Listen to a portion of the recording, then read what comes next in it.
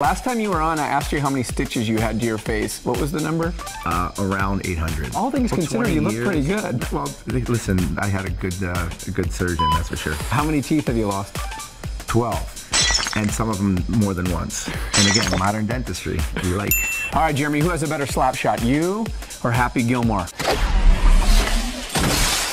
I definitely have a nicer slap shot. Happy could smack it pretty far, 400 yards. Is that goal regulation size or what? Gee! Worst temper, Happy Gilmore, Jeremy Roenick.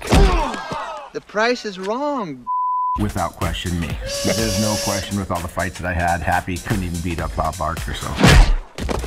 I think you've had enough. More handsome, you or the Hanson brothers from Slapshot?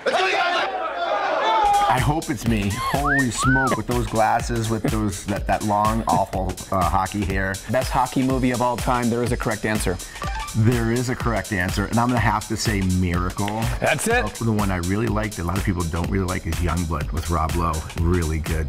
That is a good movie. it's That's good kind of a sleeper. It is a sleeper. movie where um, you are referenced. One of my favorite movies, Swingers, baby. It's not even so much me as it's Roenick. He's good. It's not so much me, it's Roenick. He's good. You know, and make Gretzky's head bleed. I'm gonna make Wayne Gretzky's head bleed. What would happen in the NHL if a team really tried the flying V from the Mighty Ducks? Show me the flying V. They would get absolutely embarrassed, um, Um, and it wouldn't work. It's the worst, worst hockey play in the history of hockey. You teared up when the Hawks won the Stanley Cup. What's the movie that makes you tear up every time you watch it? My life, I think you could take away my hope like that? I got, I got just got chills. And I can, did that can I have a hug, man?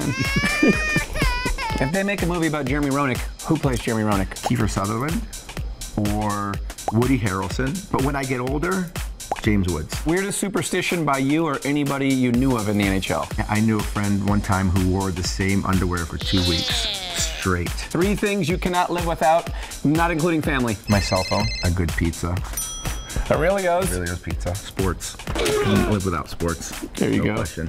Jeremy Roenick, one of the greatest. You're awesome, man.